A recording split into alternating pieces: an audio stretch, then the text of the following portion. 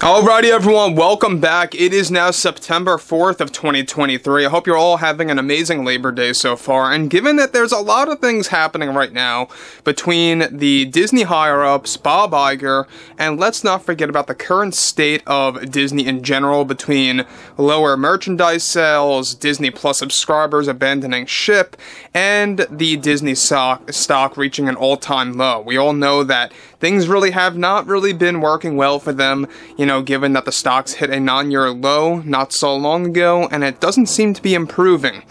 This is Mike Zeroh. Subscribe if you're new and like this video to see future updates. I'm also on Twitter at Mike01. I thank you all so very much for the great and kind support. And given that Snow White 2024 is set, of course, to be one of the biggest box office failures, if not of all time, at least for a live action remake by Disney, you know, we know that there's a lot of damage control going into this thing behind the scenes, a lot of coaching for Gal Gadot, as well as Rachel Zegler, on what to say and what not to say once the SAG strike comes to a close, if it even actually comes to a close before the release of this film. That's a bigger question open on the table. But what's even all the more unveiling has a lot to do with what's been going on behind closed doors between Rachel Zegler and Snow White director Marc Webb. Now, just a quick recap Marc Webb is best known for The Amazing Spider Man's 1 and 2 and 500 Days of Summer. Those are his big threes that he's known for, right? So, what's intriguing about what's been going on, and this has a lot to do with Disney's damage control, why Rachel Zegler is having a very big problem as we speak with Marc Webb. Not that she has never really had a great time with him on set, but moving onwards. With Snow White 24 going through issues currently due to Disney's mismanagement of the film. One major development has to do with actress Rachel Zegler and the Disney higher-ups. Now, Zegler reportedly is very angry with Snow White director Marc Webb, who has been taking part in some re-edits for the film that were forced by Disney to improve the pacing of this movie. One significant update involves how Webb recently got the editing of the film done through the editors to cut out an entire sequence placed within the second act in which Rachel Zegler's singing takes place uh, for a song about not needing love. This song, of course, and this scene was specifically cut by Marc Webb strictly to lower the running time for the film as Disney was hesitant of releasing a film that was close to three hours and Rachel's major song reportedly went on for five whole minutes. Zegler ended up getting very defensive behind closed doors related to this development for the film, since it was at least, in her mind, one of the best songs that she performed for this actual movie.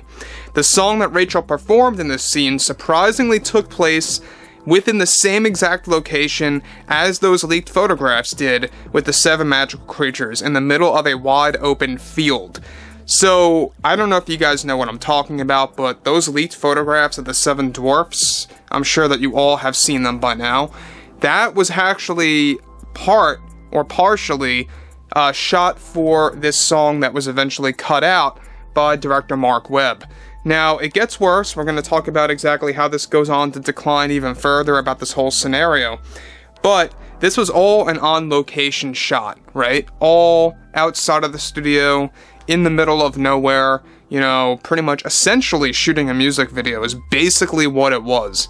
You know, that's essentially what they were shooting at that point in time, and it's very revealing over the fact that Marc Webb got specific demands by Disney to get the editors of the film to cut this movie down, shorten the running time, make it more of a tight story, and improve the watchability of this movie.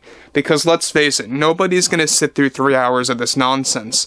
Not that it was three hours, it was close to three hours to be very specific, guys. Probably around two hours and 40 some minutes. They are slowly but surely cutting back on that and trying to really drastically reduce it as much as they can without sacrificing too much.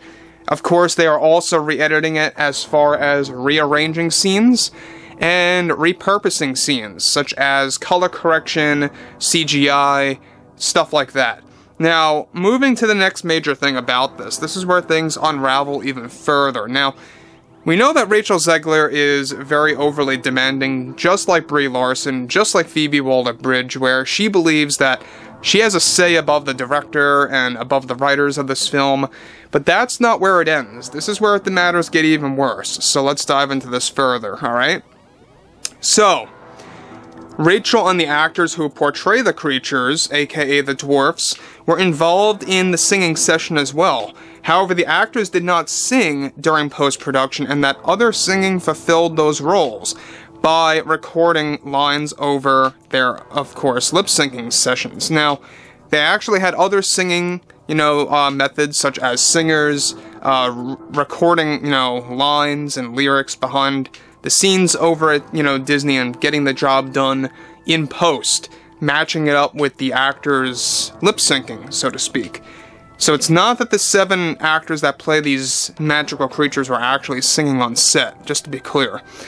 Now, Zegler got so upset with the cancellation of this moment that Zegler has been getting into many arguments that have been rattling throughout all of Disney that has been creating a quite a big stir for her involvement in this film, as Disney knows that she is nothing more than a PR disaster. They already have been coaching her on what to say and what not to say in the future to the general public, if and when the SAG strike ends before the release of this film. Now guys, like I've said, there's a lot of people that do believe that this SAG strike, and especially the W uh, strike, the writer's strike, is going to last well into February of 2024 at the minimum. At the minimum, mind you. That's bad. I mean, you're going to see massive delays on everything. Everything related to Star Wars, Marvel, Disney in general. And it's not just Disney, it is everything. So, you're going to have a lot of reruns for late night television for a while, stuff like that. You're going to have a lot of reruns for a lot of other shows that are currently, you know, aired on television. So it really is quite interesting the fact that they are coaching Zegler on what to say and what not to say, and how that too, by the way, we talked about this last week. Those demands are something that she is not agreeing with because she believes in free speech. She believes in speaking her mind about this film, but she has to realize that this is a job, this is a business, and typically in the film industry, yes, you get coached, you get told what to say and what not to say in interviews, you know, during the whole promotional phase of these films. Whenever you're promoting a movie, you are told what you are allowed to say and what not to say for multiple factors. Spoilers, that's just one of the main reasons. Uh, you know, image as a studio, that's another reason. And let's not forget that when you're an actor or an actress, you are representing that studio, which is why I call Lucasfilm the worst studio in Hollywood because they have people that say the worst things of all to people on Twitter, people that are associated with uh, Lucasfilm have said horrible things. You know, I think that at the end of the day, Freddie Prinze Jr. is right up there at the top as one of those type of people. Uh, what he said about Gina Carano was quite seventh grader level. And, you know, it really makes you wonder exactly why do they hire people like that. But not to get too off topic, guys, I would like to hear what you all have to say about this below in the comments, and if you guys did enjoy the content for today, make sure to drop a thumbs up on this video to support the channel, and I will catch you guys next time.